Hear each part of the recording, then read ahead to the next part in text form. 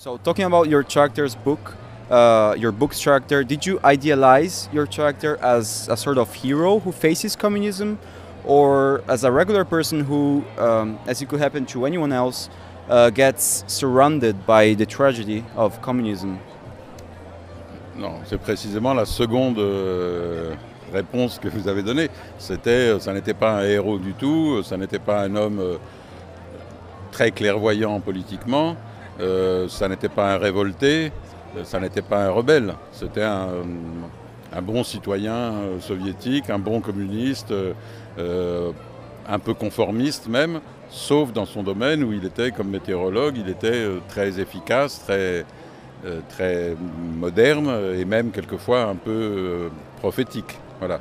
Mais dans la vie normale, c'était un citoyen absolument normal. Euh, uomo qualunque, non On dit, voilà. Okay. Um, uh, in your book, uh, there's a world where the political identity uh, gets mixed and sort of rules the scientific world. and uh, but that was um, that was enclosed uh, in the um, communist period. How do you think uh, things are nowadays in Russia? Is the scientific world divided and independent from the political world, or? Uh, bon, vous savez, je ne connais pas très bien, je ne connais pas du tout même le monde scientifique euh, russe. Euh, je pense qu'il y a quand même euh, tous les mondes scientifiques sont toujours d'une manière ou d'une autre, c'est ce que disait tout à l'heure Luca. La science a toujours des conséquences politiques et, dépend un peu du pouvoir politique. Mais euh, et je pense que c'est encore beaucoup plus vrai dans la Russie actuelle que dans l'Italie ou la France actuelle. Mais cependant, c'est quand même pas comparable avec l'époque de, soviétique et, surtout avec l'époque stalinienne, où là, euh, c'était le comité central qui décidait de telle théorie était juste, telle autre théorie était euh, cosmopolite euh, et à rejeter, etc. Donc il y a quand même un peu plus de liberté dans la science actuelle.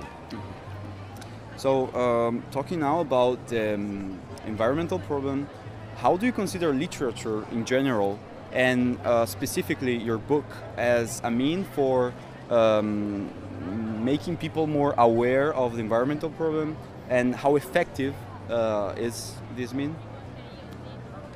Oui, mais non, je ne pense pas que mon, mon, livre soit une arme dans le combat pour l'environnement, parce que il se trouve que mon personnage euh, est un météorologue, mais ce dont je parle, c'est surtout euh, du totalitarisme, de la, police, de la, dictature politique, euh, euh, des camps de concentration. Voilà, c'est un livre plus historique et politique que sur les problèmes du climat ou de l'environnement. Je pense que cela peut servir d'écrire des livres qui traitent de ces sujets-là, mais de, de l'environnement, mais ça n'est pas le cas de mon, de mon bouquin. And the last question is a question we ask every um, every writer here at the festival. Uh, do you have any book who is particularly related to your 20s, since we are now in the 20th edition of Festival Literatura? Euh, un livre particulièrement euh, relié au 20e siècle, yeah, to the yeah, 20th century? Exactly. But all my books are, are related with the Okay, 20th okay. century uh, history. Euh, je suis un écrivain euh, surtout du XXe siècle. Je, vis au XXIe, mais j'ai écrit sur des, sur des choses qui se sont passées euh, au XXe siècle. J'ai même écrit sur des choses qui se sont passées au XIXe siècle. alors. Okay. was a real pleasure. Thank you very much. Thank, you you. very much. Bye.